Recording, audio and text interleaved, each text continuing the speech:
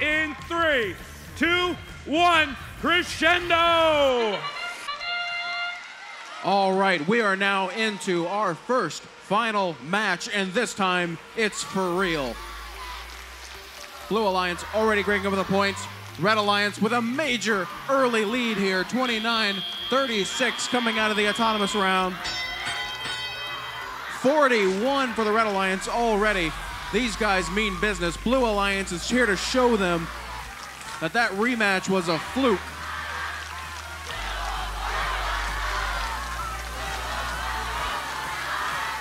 Thirty-one seventy-three, getting offensive here to fifteen ninety-one as it's trying to make its amplified shots. If they can block those amplified shots, they can get a shot at hampering the Red Alliance before it gets too out of hand. 63-25 on the board. Lots of time left on this. Blue Alliance can come back. They can fight for it.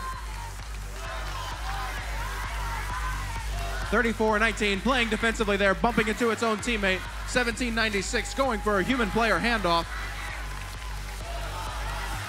31-73, up for it, 1796, stoking the amplifier. Red Alliance ready to amplify. Red Alliance has been amplified. Let's get those points in or it's not gonna count. 31-73, getting ready to amplify the Blue Alliance. Red Alliance wasting that entire amplification period. But they've got a lead, they're not worried. Blue Alliance, here's your chance. Blue Alliance, you are amplified. Get those points in. That's two five pointers for 3173 and one for 3419. We are one point away. That is how you do it, Blue Alliance. Get that amplifier on, get those notes in that speaker. 30 seconds on the clock. Only a seven point lead here in our first final. 6911 stoking that speaker. Let's get ready to get cranked.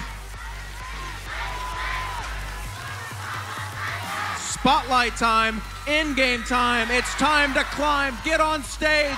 Blue Alliance, you have two spotlights and you're not using either of them. Let's go, let's go. Blue Alliance, three, four. Red Alliance taking this one away with only a three point difference here. Two of those three points came from penalties that round.